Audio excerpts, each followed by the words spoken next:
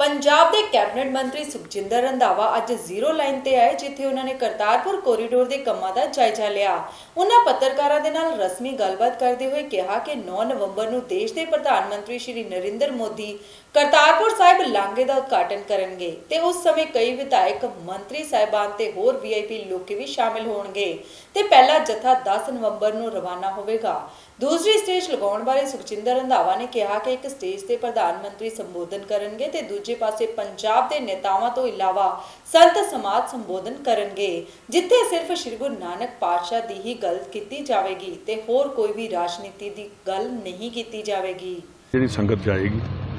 ਔਰ ਜਿਹੜੀ flag off ਵੀ ਪ੍ਰਾਈਮ ਮਿਨਿਸਟਰ ਸਾਹਿਬ ਕਰਨਗੇ,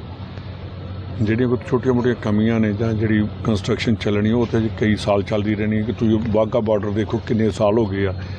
ਉਹਦੀ ਕੰਸਟਰਕਸ਼ਨ ਚੱਲਦੀ ਰਹਿੰਦੀ ਹੈ। ਤਾਂ ਉਸ ਕਰਕੇ ਉਹ ਜਿਹੜੇ ਲੌਂਗ ਟਰਮ ਜਿਹੜੇ ਹੈਗੇ ਨੇ ਪ੍ਰੋਜੈਕਟ ਨੂੰ ਉਹ ਤੇ ਚੱਲਣਗੇ, ਜਿਵੇਂ ਹੋਟਲ ਬਣਨੇ ਆ ਜਾਂ ਦਰਸ਼ਨ ਸਥਲ ਬਣਨਾ, ਇੱਕ ਤੇ ਇੱਥੇ ਬਣੇਗਾ, ਇੱਕ ਹੋਰ ਬਣਾਉਣਗੇ ਉਹ ਰਿਵਾਲਵਿੰਗ ਬਣਾ ਰਹੇ ਨੇ, ਕਿ ਉਹਨੂੰ ਕੋਈ 60 ਫੁੱਟ ਉੱਚਾ ਬਣਾ ਕੇ, ਤਾਂ ਕਿ ਦਰਸ਼ਨ ਹੋ ਸਕਣ। ਤੇ ਔਰ ਇਹ ਜਿਹੜਾ ਜਿੱਥੇ ਆਪਾਂ ਖੜੇ ਆ ਐਕਚੁਅਲੀ ਇਹ ਬਾਅਦ ਚ ਲਾਂਘਾ ਇਹੀ ਬਣੇਗਾ, ਕਿਉਂਕਿ ਉਹਨਾਂ ਨੇ ਅੱਗੇ ਫਲਾਈਓਵਰ ਬਣੇਗਾ। ਤੇ ਮੇਰੇ ਖਿਆਲ ਟੈਂਪਰੇਰੀ ਅਜੇ ਇਸੇ ਨੂੰ ਹੀ ਸੰਗਤਾਂ ਦੇ ਜਿਹੜੇ ਨਹੀਂ ਜਾ ਸਕਣਗੇ, ਉਹਨਾਂ ਨੂੰ ਇੱਥੋਂ ਦਰਸ਼ਨ ਕਰਨਗੇ। ਅੱਜ ਤੁਸੀਂ ਦੇਖ ਰਹੇ ਹੋ ਜਿੰਨਾ ਕਲੀਅਰ ਹੈ ਸਾਹਮਣੇ ਤੇ ਇਹ ਬਿਨਾ ਦੂਰਬੀਨ ਤੋਂ ਵੀ ਜਿਹੜੇ ਦਰਸ਼ਨ ਕੀਤੇ ਜਾ ਸਕਦੇ ਨੇ।